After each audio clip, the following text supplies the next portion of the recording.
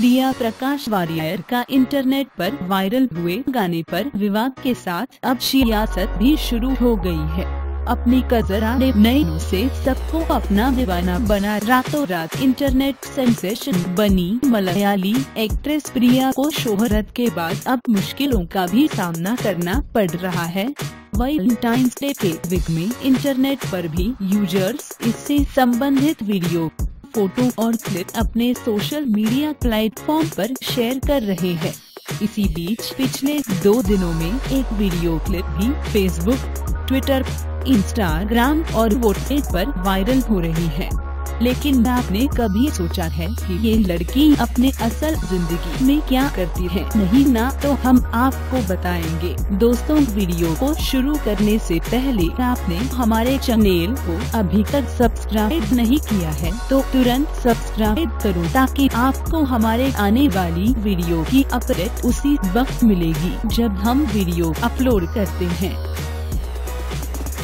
प्रिया का पूरा नाम है। प्रिया प्रकाश वारियर केरल में की रहने वाली। प्रिया अभी सिर्फ़ 18 साल की है और प्रिया फ़िलहाल बी कॉम में पढ़ाई कर रही है। और प्रिया मॉडल और एक्टर्स हैं, जिसने अपने करियर की शुरुआत इसी फ़िल्म से शुरुआत की है। और इसके पहले गाने ने ही दुनिया को अपना दीवाना बनाया है। प्रिया फ़िल्मों में काम करने से पहले वो डांसिंग भी करती है और आपको बता दें कि प्रिया असल ज़िंदगी में गाना भी बहुत खूब गाती हैं।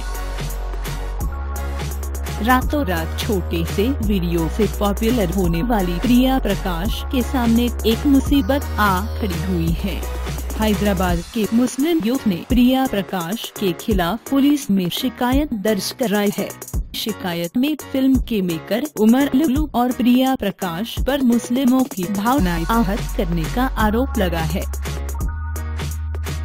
जब प्रिया से पूछा कि आप स्टूडेंट हैं, कॉलेज जाती है दोस्त हैं, टीचर्स हैं, तो सभी कैसे इस वीडियो के बाद रिएक्ट कर रहे हैं?